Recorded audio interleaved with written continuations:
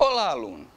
Bem-vindo à disciplina Análise de Sistemas, neste segundo módulo do curso Técnico em Informática.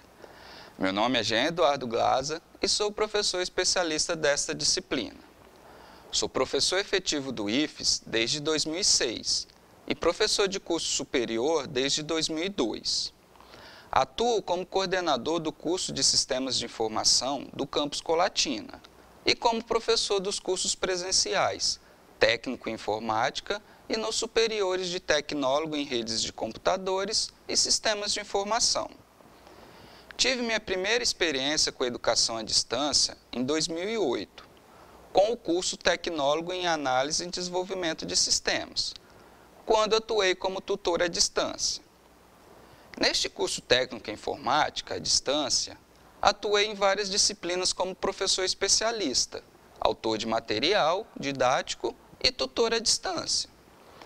Neste curso, você vai aprimorar seus conhecimentos sobre o desenvolvimento de sistemas. Aprenderemos como planejar o software que pretendemos construir ou programar, a fim de que nossos usuários tenham suas necessidades atendidas. O que vamos estudar nessa disciplina é, resumidamente, como transformar os sistemas reais em soluções computacionais, que promovam a eficácia dos negócios das organizações. Aprenderemos como usar diagramas e símbolos para mostrar o que estamos imaginando de uma forma conceitual. Depois, conheceremos técnicas que nos ajudarão a entender como é possível transformar nossos conceitos em segmentos de software que efetivamente rodam nos computadores. Para isso, estudaremos algumas ferramentas como a UML e seus diagramas. As atividades de avaliação serão compostas por duas provas presenciais e várias atividades semanais, como questionários, fóruns e tarefas práticas de envio de arquivo, onde você irá criar os diagramas para especificar um sistema.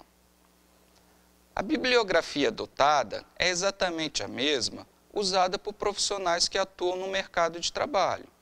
Estudaremos Larman, de 2007, e o livro dos autores conhecidos como Grupo dos Quatro, Gama, Helm, Johnson e Vlizides, de 2000. Todos esses livros você encontra nas referências da apostila. Para dar conta de tudo que você precisa desenvolver, o cumprimento dos prazos é importante. Não deixe para a última hora. Seu desempenho será mais proveitoso à medida que for resolvendo os exercícios propostos e participando das discussões com os demais tutores e colegas de curso.